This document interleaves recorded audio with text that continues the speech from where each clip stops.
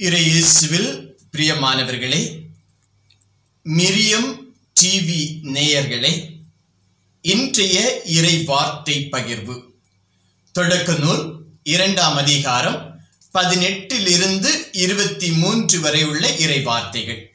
இந்த வார்த்தையின் பின்னணியை பார்க்கின்ற பொழுது என் ஆண்டவர் சொல்லுகிறார் மனிதன் தனிமையாக இருப்பது நல்லது அல்ல அவனுக்காக ஒரு துணையை ஏற்படுத்துவோம். இதுதான் இன்று என் ஆண்டவர் கொடுக்கக்கூடிய சிந்தனை. தனிமையாக இருப்பது நல்லது அல்ல. ஏனெனில் மனிதன் ஒரு சமூக பிராணி. இந்த உலகத்தோடு தொடர்பு ஏற்படுத்தி கொண்டிருப்பவன் தொடர்போடு வாழ்ந்து கொண்டிருப்பவன். தனித்து ஒரு மனிதனால் இந்த உலகத்தில் எதுவும் செய்ய முடியாது. அதோடு நாம் பார்க்கின்ற பொழுது தனிமை ஒரு கொடுமை என்று சொல்லலாம். இந்த தனிமை மனித வாழ்க்கையில வருகின்ற பொழுது அதன் வழியாக தற்கொலையை நாடி சென்றவர்கள் உண்டு இறந்தவர்கள் உண்டு தங்களுடைய வாழ்வை அழித்தவர்கள் உண்டு தங்களுடைய வாழ்க்கையிலே எந்த நிலைக்கும் ஆளாகாமல் வெற்றியான சிந்தனைகள் எண்ணங்களை கொண்டு வராமல் தனி மரமாய் போனவர்களும் உண்டு. காரணம் இந்த தனிமை மனித வாழ்க்கையிலே மிக பெரிய கொடுமையாகி இருக்கிறது.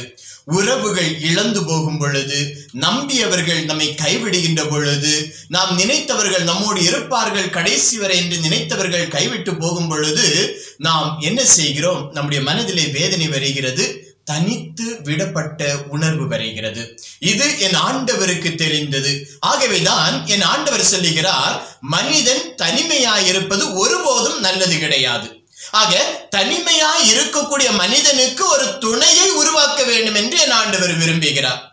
அப்படி எனில் யார் அந்த துணையாக இருக்க முடியும் என்றால் மனிதனுக்கு துணையாக என் ஆண்டவர் உருவாக்கியது பெண். ஆக பெண் மனிதனுடைய நிறைவாக அதாவது ஆணின் நிறைவாக இருப்பது பெண் அதோடு மட்டுமல்ல படைப்பின் நிறைவாக இருப்பதும் பெண். ஏனெனில் கடவுள் எப்பொழுது பெண்ணை படைத்தாரோ அதோடு படைப்பை நிறைவு செய்தார். அதன் பிறகு அவர் எந்த படைப்பையும் படைக்கவில்லை. அப்படி எனில் படைப்பின் நிறைவாகவும் ஆணின் நிறைவாகவும் இருப்பது பெண்.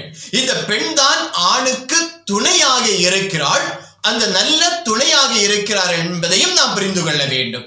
ஆக அடுத்ததாக நாம் பார்க்கின்ற பொழுது கடவுள் என்ன செய்கிறார் என்றால் தான் படைத்த அந்த ஆணை அந்த தோட்டத்திலே கொண்டு வந்து அங்கு இருந்த எல்லா விலங்குகளுக்கும் பெயரிடச் சொல்லுகிறார். ஆக மனிதன் என்ன செய்கிறான் என்றால் ஒவ்வொரு காட்டு விலங்குகள் மிருகங்கள் பறவைகள் ஒவ்வொன்றுக்கும் அவன் பெயரிடுகிறான். அவன் பெயரிட்டவை அனைத்தும் அதற்கு பெயராக மாறியது என்று சொல்லப்பட்டிருக்கிறது. இங்கு அவன் பார்க்கிறான் ஒவ்வொரு மிருகமாக வருகிறது ஒவ்வொரு மிருகத்துக்கும் அவன் பெயரிடுகிறான். ஆனால் அவனுக்கான துணையை அங்கு காணவில்லை. அப்படி பார்க்கின்ற பொழுது ஆண்டவர் நடத்திய பேஷன் பரேட் அந்த பேஷன் பரேட் என்று சொல்லுகின்ற பொழுது ஒவ்வொருவராக வருகிறார்கள். வந்தது விலங்குகளாக இருந்தது. அதில் மனிதன் துணையை காணவில்லை. தகுந்த துணையை அங்கு காணவில்லை. அப்படி பார்க்கின்ற பொழுது விலங்குகள் ஒருபோதும் மனிதனுக்கு துணையாக இருக்க முடியாது. மனிதனுக்கு துணையாக இருப்பது சக உடல் அமைப்பை கொண்ட அந்த பெண்ணாக இருக்க முடியும் என்பதுதான் ஆண்டவருடைய எண்ணமாக இருந்தது. ஆகவேதான் ஆண்டவர் என்ன செய்கிறார்? மனிதனுக்கு தூக்கத்தை கொடுத்தார்.